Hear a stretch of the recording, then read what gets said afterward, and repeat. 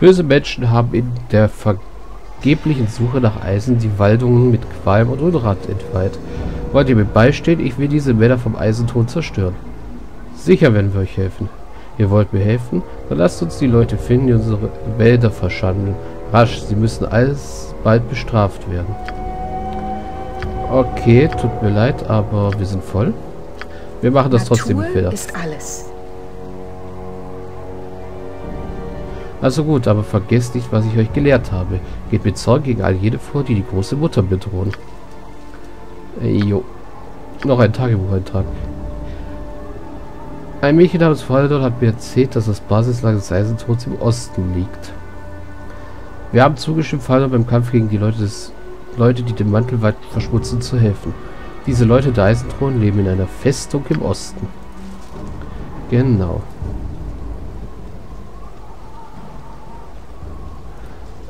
Ah, das ist mal wieder so ein Druidenzirkel. Die Zivilisation ist fern, Stadtbewohner.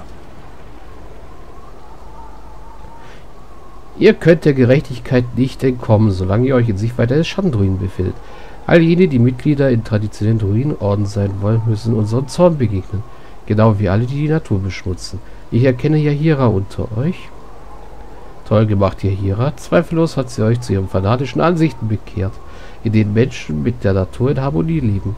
Solche Ansichten zeugen von Schwäche und müssen ausgelöscht werden. Ihr habt euch mit Feinden der Schattendruiden abgegeben und dafür sollt ihr sterben. Okay, ein Schattendruide. Was immer ihr braucht. Spüre meine magischen Geschosse.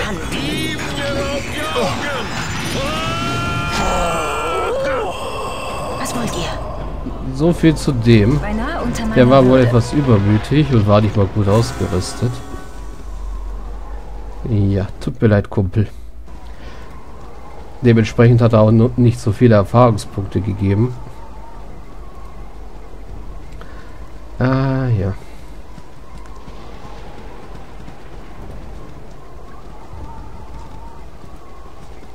Muss ja halt mal passieren. Hm?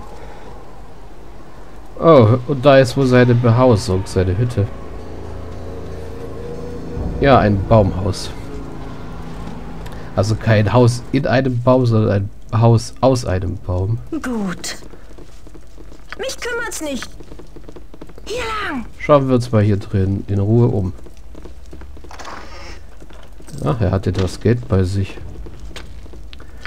Eine verschlossene Truhe macht mich mal stutzig. Tränke sind auch immer gut. Was ist das für einer? Trank der Freiheit. Hat so einen noch jemand? Ja, du hast da oben den Trank der Freiheit, wobei ich nicht weiß, für was du den gebrauchen könntest noch. Ein Heiltrank, ein Gegengift. Kadits Inventar ist voll, dann kommt das halt zu Minsk. So. Pfeile haben wir nicht mehr viele. Schleuderkugeln halten sich auch in Grenzen. Den Stab können wir nicht identifizieren. Noch nicht jedenfalls. Was? Gut. Dann gucken wir mal ein Stockwerk höher. Ihr passt in diesen Wäldern besser auf, was ihr tut. Seniatas Anhänger sind mir wohl bekannt. Ihr reist mit einer, die Yahira genannt wird. Ihre naive Ansichten über eine Gesellschaft im Einklang mit der Natur müssen ausgerottet werden, damit der Natur wieder der Respekt zuteil wird, den sie verdient hat.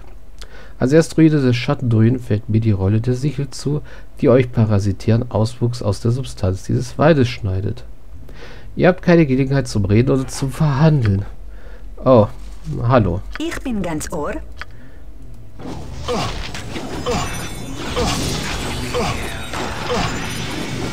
Ja, du bist eher damit beschäftigt, rumzuzappeln.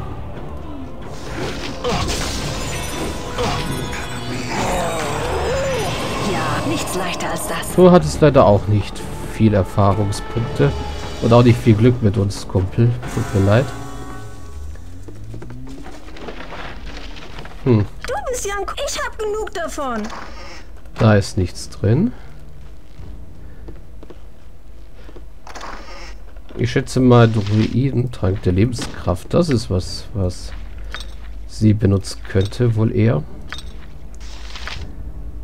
Weil der steigert, soweit ich weiß, die Lebenspunkte für... Achso, Konstitution auf 18. Super, sie hat Konstitution von 18. Nein. Könnte den irgendwer gebrauchen. Münz könnte den gebrauchen. Du kannst keine Unverwundbarkeitstränke benutzen. Äh, dann kommt er mal zu dir. Habe ich irgendwelche... Irgendeinen Trank... Spiegelaugen vielleicht. Feuerodem. Heldentrank kann sie noch nicht benutzen. Dann kommt der Feuerodem-Trank mal zu dir. So. Ich hab genug davon. Und 10 magische Schleuderkugeln. Hm. Sehr freundlich. Was wollt ihr? Beinahe Gut. unter meiner Würde. Beinahe unter meiner Würde. Okay, dann wäre wieder raus hier aus diesem Druiden-Hort. Beinahe unter meiner Würde. Gucken, ob der Schwarzbär jetzt verschwunden ist, der hier drüben war. Nein, er hat Freund sehr viele Freunde mitgebracht.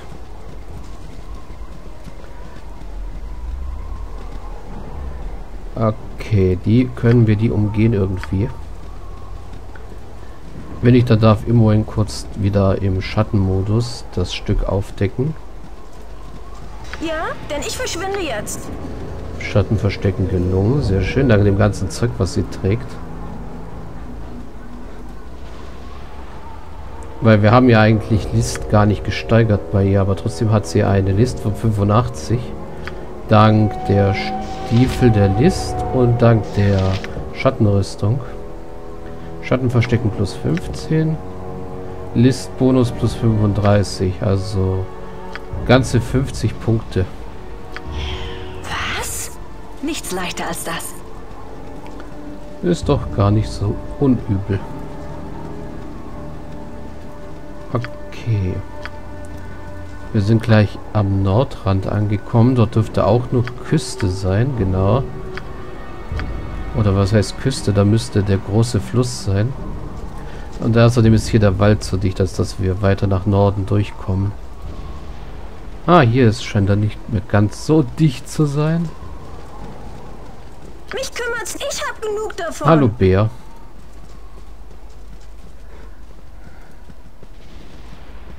Ah, aber hier scheint er wieder dichter zu werden. Ja, gut. Okay, äh, noch mehr Bären. Hm. Um die machen wir mal wieder einen großen Bogen.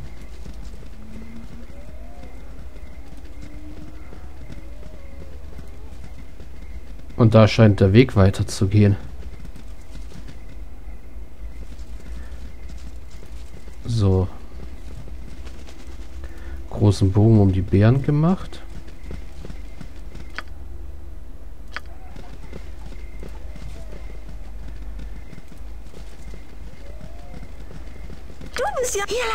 Und immerhin kann man wie immer sie im Schatten verstecken. Es ist ja zum Glück auch Nacht, da kann sie sich noch besser im Schatten verstecken. Kann man kurz hier gucken, ob bei den Bären was Interessantes ist. Hier scheint aber nichts mehr zu sein. Gut. Und da sind zwar Flecken da oben, die wir nicht aufdecken ihr? konnten. Gut. Ah, wieder ein Höhlenbär, hä?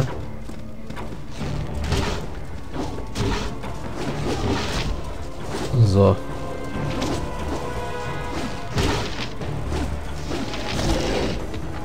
Gut, der Höhlenbär wollte wohl ein, Häppchen von ähm, Imoen oder ja, Gina hier abhaben. Aber der ist zum Glück nicht so weit gekommen, weil die nicht sehr schnell sind. Wir sind im Allgemeinen auch ein bisschen langsam im ersten Teil. So, jetzt gucken wir uns mal östlich des Schattendrügenbaums ist außerordentlich vielversprechend. Damit wir das hier auch noch aufdecken. Ah, wir sind bald bei nur noch 10.000.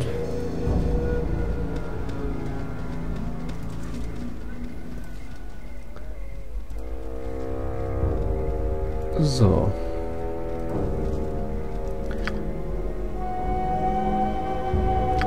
Da oben scheint auf jeden Fall was zu sein. Eine Art Höhle oder so. Vergreift oh. euch nicht an der Natur, oder sie vergreift sich an euch. Ihr seid doch Freunde von der Ahira, nicht wahr? Sie gehört dem Druidenorden an, der Seniat, na, der Seniat nachfolgt. Das ist einer der drei Erzdruiden. Ich teile ihre Denkweise jedoch nicht. Wegen ihrer pazifistischen Doktrin werden weiterhin Grausamkeiten gegen die Natur begangen.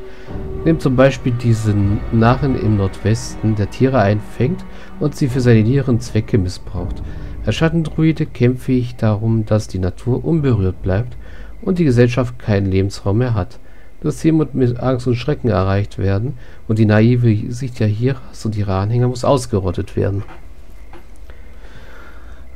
Okay, noch so ein verrückter Schattendruide.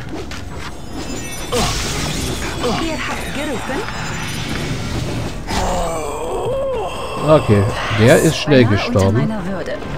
Ja, beinahe unter meiner Würde. Aber er hat irgendwas von einem Typen gefaselt im Norden, der Tiere einfängt und für schändliche Zwecke missbraucht. Vielleicht hier in der Höhle. Hm. Jedenfalls scheint Yahira irgendwelche Tiergeräusche aus der Höhle zu hören. Also gucken wir da mal rein. Oh, ja. Lindwurm-Baby. Ich entschuldige mich, aber ich muss euch leider ein andermal helfen. Nur weiter, Freunde. Hier gibt's nichts zu sehen. Nur einen einfachen Waldbewohner, der ein bisschen die Höhen erforscht. Habt ihr Räuber oder ähnliche unangenehme Gestalten hier in der Nähe gesehen? Was wollt ihr hier? Sagt es gleich, bevor ich euch umbringe. Das ist aber ein seltsamer Ort, einem Waldbewohner zu begegnen. Habt ihr keine Angst vor den jungen Lindwürmern hinter euch? Er versteht einfach nichts von Holz und allem, was damit zusammenhängt. Diese Wesen sind friedlich und das Risiko lohnt sich. Ähm, sogar die dunkelsten Höhlen können eine lohnende Erfahrung für den Waldbewohner sein, der sich selbst gut kennt. Warum? Hm, unterirdische Bäume liefern das beste Holz für Schnitzer, ähm, alle Art Schmuckstücke. Unterirdische Bäume, wisst ihr auch wirklich, wovon ihr redet? Na gut, dann überlasse ich eure Arbeit. Nichts lege mir ferner, als zwischen einem Mann und seinem Wald zu treten, sozusagen. Ich glaube, dass ihr mich anlügt. Nennt mir einen Grund, warum ich euch nicht töten sollte. Unterirdische Bäume, wisst ihr auch wirklich, wovon ihr redet? Aber sicher. Habe ich euch, habe ich euch Anlass für Zweifel gegeben? Natürlich nicht. Alles ist so, wie es sein sollte.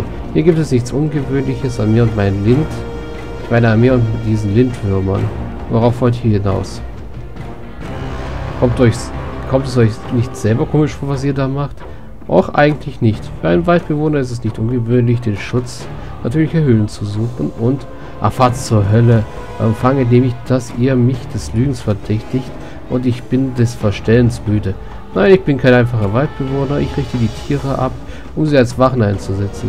Und da ihr mich beim Training unterbrochen habt, werde ich sie nie für die Mine bereit machen können. Eure Anwesenheit macht sie unruhig. Jetzt werden sie tagelang nicht zum Bändigen sein. Vielleicht, vielleicht kann ich sie ja mit Fleisch besänftigen. Eurem Fleisch. Okay. Der ist aggressiv und hat Lindwurm-Babys. Da sollten wir uns besser vor darauf vorbereiten.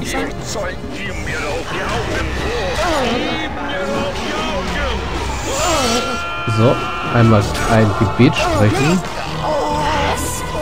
So. Und jetzt Lindwurm-Babys töten.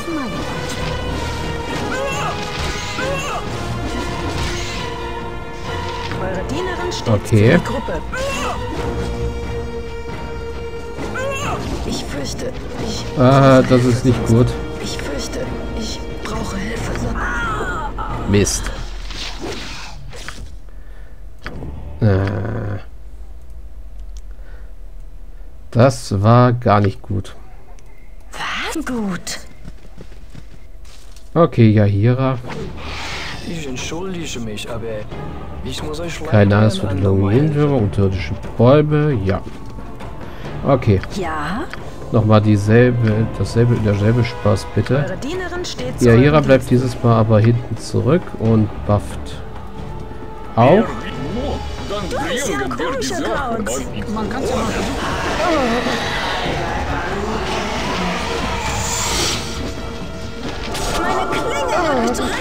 Lindwurmgift ist nämlich etwas garstig.